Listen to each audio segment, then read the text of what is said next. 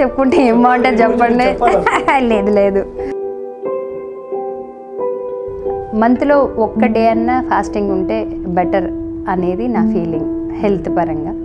ఆ one day మీరు ఖర్చు పెట్టాల్సిన అమౌంట్ని ఎవరైనా పూర్ పీపుల్కి కానీ ఓల్డ్ ఏజ్ హోమ్ వాళ్ళకి కానీ మీరు ఇవ్వాలి అని అనుకోగలిగితే ఒక్కరికైనా మీరు భోజనం పెట్టగలుగుతారు కదా. అందులో ఒక గొప్ప ఆనందం ఉంటుంది ఆ అనుభవాన్ని అందరూ అనుభవించాలని నేను కోరుకుంటాను. రూల్స్ ఉంటాయి. కేవలం యూట్యూబ్ ఛానల్ వల్ల నాకు రెండు సార్లు సంబంధాలు పోయి అంటే మీరు నమ్ముతారా? ఆడ కనిపించే ఏంటంటే మొత్తం అన్ని పరిశీలిస్తే ఎక్కువగా వాళ్ళన్నీ ఏ టు జెడ్ వాళ్ళు కమిట్మెంట్స్ ఒప్పుకొని లేదండి. లేదండి వాళ్ళు ఫ్యామిలీ గర్ల్స్ అనండి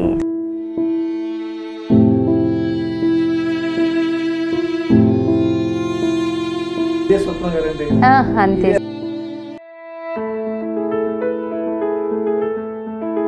అసలు ఈ మధ్య కాలంలో నిజంగా ఎవరికి ఇంటర్వ్యూస్ ఇవ్వట్లేదండి.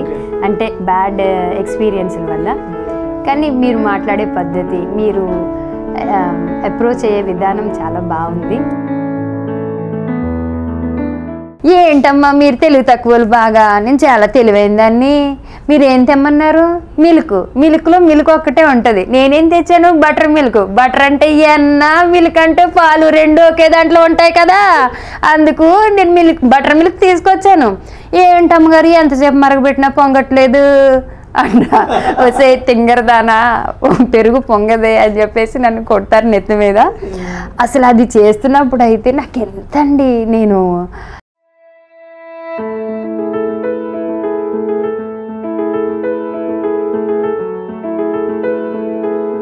ప్రస్తుతం అయితే మా టీవీలో కథలో రాజకుమారి అనే ఒక సీరియల్లో టీచర్ క్యారెక్టర్ ఒకటి చేస్తున్నానండి. హీరోయిన్కి ఎడ్యుకేషన్ నేర్పించేది. అది కాకుండా రీసెంట్గా రిలీజ్ అయిన ఏబిసిడిలో వర్క్ చేశాను movie. Plus Saptagiri garu movie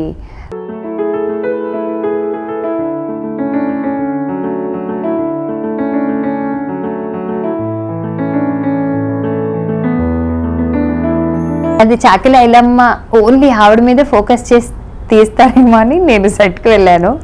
అక్కడికి వెళ్ళిన తర్వాత హస్బెండ్ పిల్లలు ఉన్నారు. నాకు ఆరు ఐదుగురు పిల్లలండి. ఐదుగురు పిల్లలు వస్తే తీర చూస్తే వాళ్ళంతా ఇంత పెద్ద పెద్ద ఉన్నాయి. అమ్మ చిన్నమ్మ చిన్నమ్మ అంటున్నారు.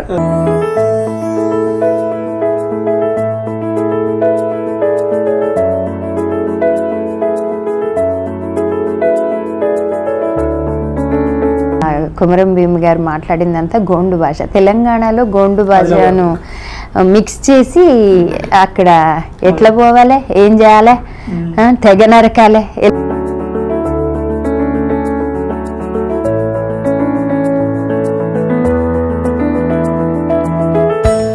నేను గమనించుకోను. ఏటమ్మా అది ఇదని కావాలని నన్ను ఆట పట్టిస్తారు హైదరాబాద్లో.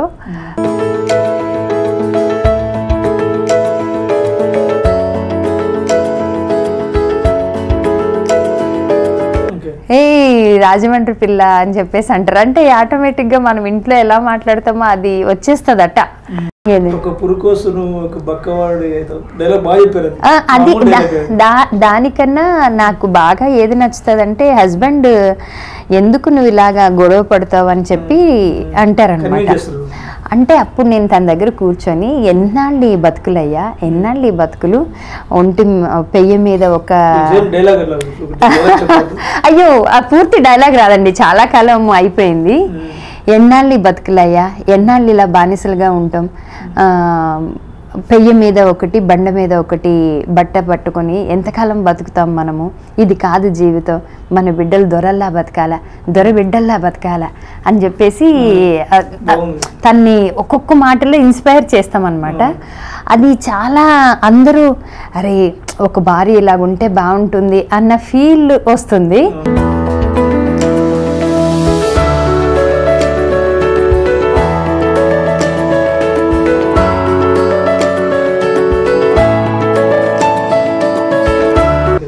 అసలు ఎవరికీ తెలియదు. కత్తి మహేష్ అంటే ఎవరికీ తెలియదు. తెలియకపోయేది మాకు కూడా తెలియదు అప్పుడు ఆయన ఎడారి వర్షం షార్ట్ ఫిలింకి చాలా బెంగళూరు నుంచి చెన్నై నుంచి మన తెలుగు వాళ్ళని హైదరాబాద్ వాళ్ళని చాలామందిని ఆయన ఆడిషన్ చేశారు.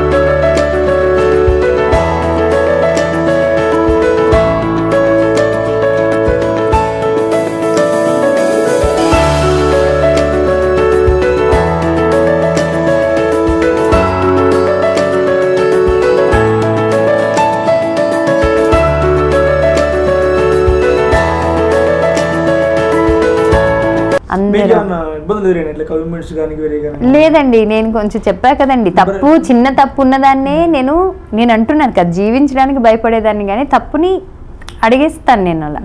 చిన్న చిన్న మిస్టేక్స్ కార్లో డంప్ చేసేసి భోజనాలు పెట్టే దగ్గర ఇరిటేషన్ ఫేస్ పెట్టుకొని ఇంకా లేదు. ఇలాంటి అంటేనే నేను ఫైర్ బ్రాండ్ హట్ కాదు సార్ నేను అడిగేసేదాన్ని. అదే అడిగేస్తానంటే ఇలాంటి దానికి కొడతానని భయపడరా? కాబట్టి నా జోలి. నా జోలికి అంతవరకు అయితే రాలేదు ఎవరు. అట్ ద సేమ్ టైం నేను చాలా ఫ్రెండ్లీగా మాట్లాడతానండి ఫస్ట్ ఆఫ్ ఆల్ చాలా లవ్లీగా చాలా ఫ్రెండ్లీగా మాట్లాడతాను.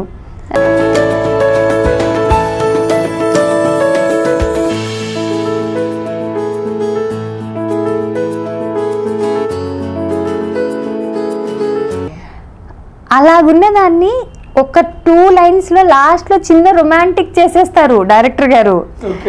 అంత ఇన్స్పైర్ అయిన హస్బెండ్ నిజం నిజం అనుకొని నన్ను ముద్దు పెట్టుకోవాలి అనుకుంటాడు అనమాట అంటే నా భార్య ఇంత ముద్దుగా ఇంత ఇలాగా పెద్దరికంగా ఒప్పించగలిగింది అని చెప్పి అంతవరకు ఇలాగ ఇలాగ పౌరుషంగా చెప్పే నేను ఆ సీన్ ఆ సీన్ దగ్గరికి వచ్చింది అనేసరికి నవ్వేశాను నేను ఫుల్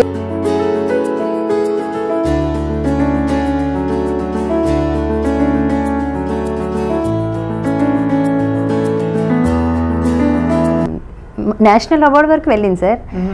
కేరళ ఫిలిం ఫెస్టివల్లో అరవై రెండు ఫిలిమ్స్ షార్ట్ ఫిలిమ్స్ సబ్మిట్ చేస్తే ఒక్క ఎడారి వర్షం ఒక్కటి సెలెక్ట్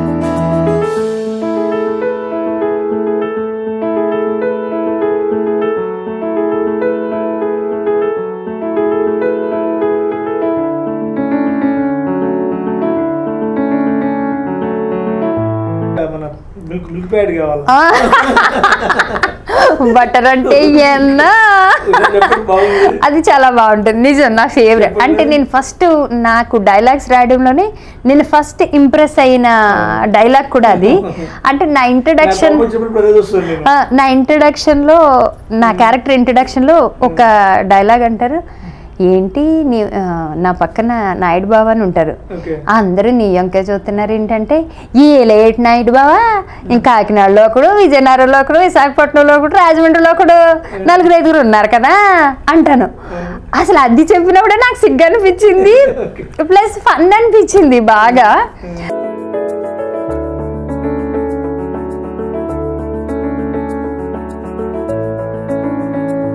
నన్ను అంతులేని కథ హీరోయిన్తో పోలిస్తారు అసలు అంతులేని కథ కథతోనే నా నన్ను పోలుస్తూ ఉంటారు ఎక్కువ.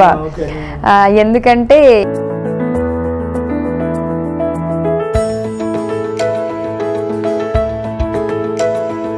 స్వప్న నీకు తెలిసిన ఒక మంచి ఆర్టిస్ట్ చెప్పు. పలానా క్యారెక్టర్ అంటే పలానా అమ్మాయి ఉందండి పలానా ఆయన ఉన్నారు అని మేము చెప్పేవాళ్ళం. అలా సెలెక్షన్ అయిపోయేది. ఇప్పుడు అలా అవ్వట్లేదండి ఇప్పుడు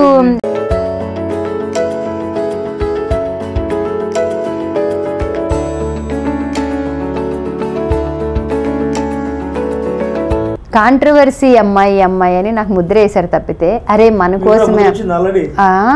అసలు ఆ స్వప్న అంటే ఏదో. నేను నవ్వుతున్నాను అని మొహం ఆటానికి ఏ స్వప్న స్మైలింగ్ ఫేస్ బాగా మాట్లాడుతుంది అంటారు కానీ సార్ నేనంటే చాలా మంది కోపం. ఎందుకంటే ఉన్న విషయం మొహం మీద మాట్లాడేస్తాను. అది నచ్చదు చాలా మందికి. నేను చా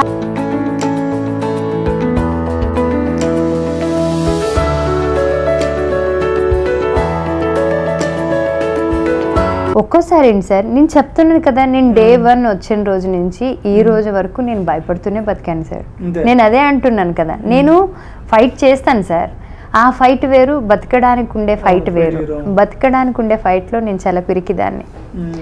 తప్పుని నిలదీసి అడగడంలో నేను పులి నేను అట్లా. చాలా మంది ఉన్నారు సార్. చాలా మంది మీరు ఇంటర్వ్యూలు అడగండి ఎవరైనా ఇస్తారు అని అంటే ఆర్టిస్టులు. ఎవరైనా ఆర్టిస్టులు ఇంటర్వ్యూలు ఇస్తాను అని అంటే మీ ఛానల్కి నేను ఫ్రీ వర్క్ చేస్తాను నేను.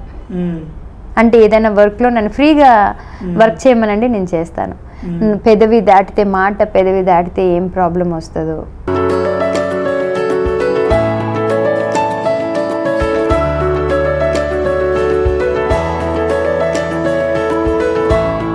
తెలుగు ఇండస్ట్రీలో తెలుగు వాళ్ళ ఉండరా సార్? అదే సార్ ఇలా పుకార్లు అయ్యి పుట్టిస్తారు. ఇప్పుడు మంచి రెమ్యునరేషన్ ఇప్పుడు బెంగళూరు ఆర్టిస్టులు ఉన్నారు సార్. వాళ్ళకి మంచి రెమ్యునరేషన్ ఇస్తారు. వాళ్ళకి ఫ్లైట్స్లో తీసుకొస్తారు. ఇక్కడ వాళ్ళకి అకామిడేషన్ వీళ్ళే ఇస్తారు. వాళ్ళ ఫుడ్ బోర్డింగ్ అంతా వీళ్ళే చూసుకుంటారు. ఒక అకేషనల్ సీన్స్ అయితే వాళ్ళ కాస్ట్యూమ్ కూడా వీళ్ళే చూసుకుంటారు. ఓకే. ఓకే? ఇన్ని ప్రొవైడ్ చేస్తున్నప్పుడు అక్కడి నుంచి వచ్చిన ఆర్టిస్ట్ మీ మీద ఏం కంప్లైంట్ చేస్తుంది చెప్పండి.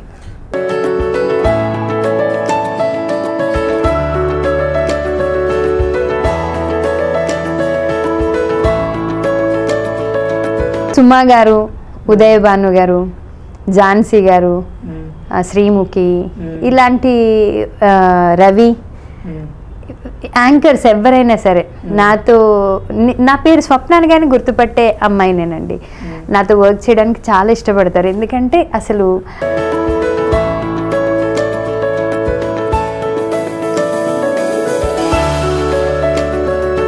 మన తెలుగు ఛానల్స్లో.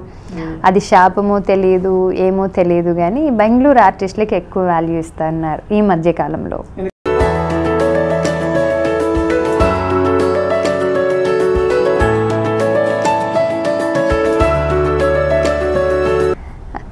ఇక్కడ డబ్బు ఉండాలి సార్ ఇండస్ట్రీలో. డబ్బు ఉండాలి స్టేటస్ ఉండాలి. అప్పుడు మనము వస్తాయండి. కొంతమంది గోల్డెన్ స్పూన్తో ఉంటారు కదా. ఈ మధ్యన ఇండస్ట్రీకి గోల్డెన్ స్పూన్ వాళ్ళే వస్తున్నారండి. అంటే వాళ్ళ అంటే ఫేమ్ని ఎక్కువ కోరుకుంటున్నారు. సెలబ్రిటీ హోదాని కోరుకుంటున్నారు. బాగా చదువుకున్న వాళ్ళ పిల్లలు బాగా డబ్బున్న వాళ్ళ పిల్లలు ఎంబీబీఎస్లు ఇంజనీరింగ్స్ చదివిన వాళ్ళు కూడా ఒకసారి సెలబ్రిటీ అనిపించుకోవాలి. అందానికైనా సరే ఇండస్ట్రీకి వచ్చేస్తున్నారు. ఇది ఈ ప్రొఫెషన్నే నమ్ముకున్న వాళ్ళకి వర్క్ ఉందో లేదో నాకు తెలియదు కానీ అండి. ఈ ప్రొఫెషన్ అనుకున్న వాళ్ళు చాలా స్ట్రగుల్ ఫేస్ చేస్తున్నారు. ఇది సరదాగా హాబీగా తీసుకున్న వాళ్ళు మాత్రం ఫ్రూట్ఫుల్ లైఫ్ ఎంజాయ్ చేస్తున్నారు. అది ఎలాగని ఇలా ఓపెన్గా చెప్తే మమ్మల్ని జెలస్ అంటారు. చెప్పకుండా ఆర్టిఫిషియల్గా మాట్లాడేస్తే వాళ్ళు చాలా గ్రేట్. ఆర్టిఫిషియల్గా మాకు రాదు.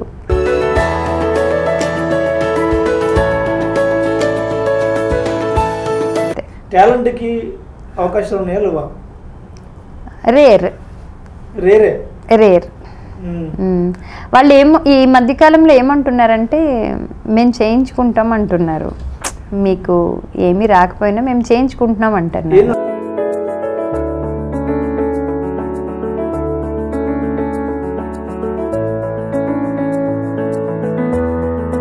మీకు ఒక విషయం చెప్పినా? బీ ఫ్రాంక్ మీరు నమ్మినా నమ్మకపోయినా నేను ప్రామిస్ చేసి చెప్తున్నాను. నా పెళ్ళికి నేను చేసుకోకూడదు. నేను ఇలాగే ఉండాలి. నేను ఒకప్పుడు చాలా ఆకలి బాధని అనుభవించాను. అలాంటి ఆకలి ఉన్న వాళ్ళకి ఎవరికైనా ఆకలి తీర్చాలి అని నాదొక ఏం ఉండేది. దాని గురించి నేను పెళ్ళి వద్దు. ఇండివిజువల్గా ఉండగలిగితేనే ఇది చేయగలుగుతాను అనేది నా ఫస్ట్ నిర్ణయం అండి.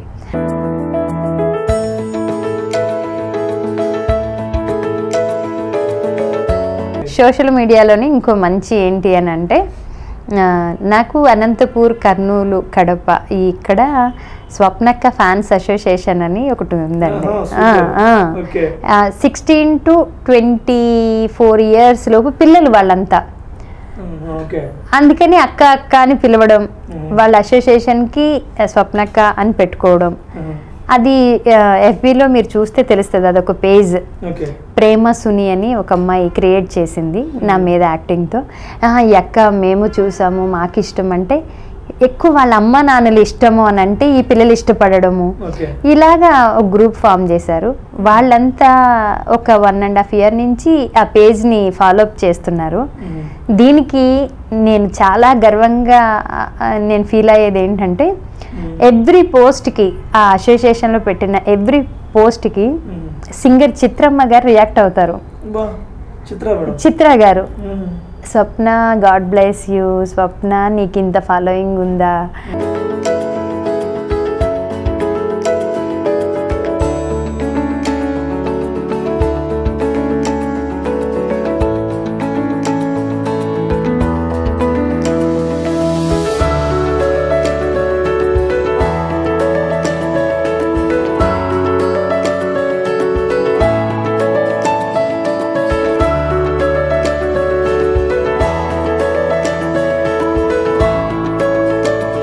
ఒక వేష్యను మ్యారేజ్ చేసుకుంటాను అని ఫిక్స్ అయినా ఆ ముందు నువ్వు వదిలేయాలి. తిరిగావు ఏంటి? ఈ క్వశ్చన్ చేయకూడదు వదిలేయాలి. ప్యూర్గా ఉండి ఇప్పటి నుంచి నాకు అని చూసుకోగలిగితే అంతే. అంతే అంతేగాని నేను సాక్రిఫైస్ చేస్తున్నాను లేకపోతే బయటికి వెళ్తే ఇంకొకరు ఎవరన్నా అంటారు. ఇలాంటి వాటికి నేను చెప్పలేను అలా నన్ను ఎవరైనా చూసారని తెలిస్తే చంపేస్తాను. చంపిన అయ్యాల్ది కత్తినట్టుకి రా అంటాను అనమాట ఇంకా అందుకే. అలా.